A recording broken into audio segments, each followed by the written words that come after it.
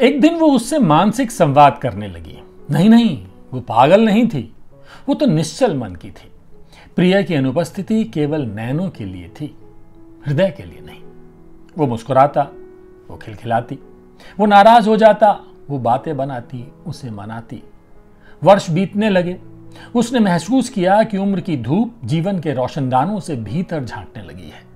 उसे डर लगा, कहीं वो अपने प्रिय को भूल तो नहीं जाएगी। फिर एक दिन बड़ी बेचैन होकर उसने अपने प्रिय की स्मृति को विदा कहने का सोचा।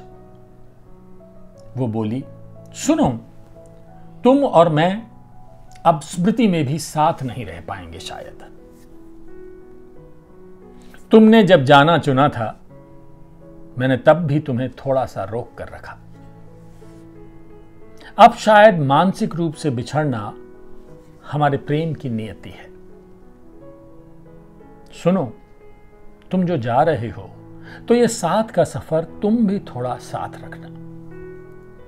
तुम सड़क के उस तरफ़ हो, मैं सड़क के इस तरफ़। सड़क जो बनती है कंकड़ पत्थर से, मैंने लौटते वक्त चुपके से सड़क के दाएँ बाएँ फैला दिए थे कुछ प्रेम बीज।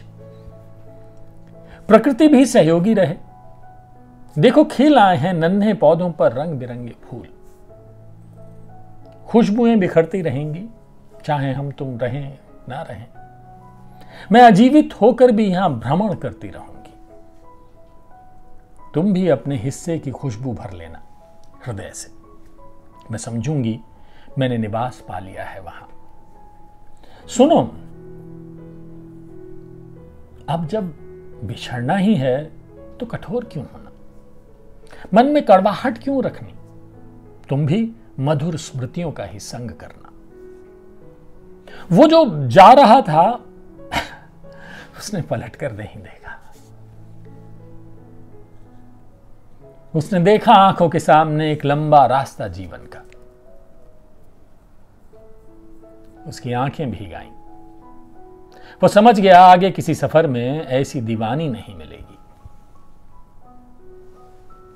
वो एक खालीपन लिए फिरता रहेगा। और यही उसका विदाई उपहार होगा, जिसे उसने स्वयं चुना।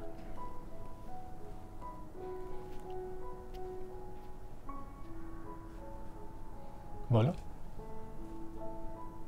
कुछ तो बोलो। कैसी लगी?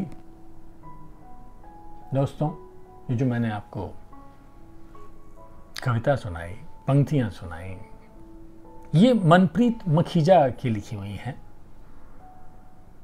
उन्होंने फेसबुक पे लिखी थी ये पंक्तियाँ। मुझे बहुत पसंद आई और मैं जानता था कि आपको भी बहुत पसंद आएँगी। बस, मैंने सुना दी एक ज़िंदगी है, इश्क करते रहिए।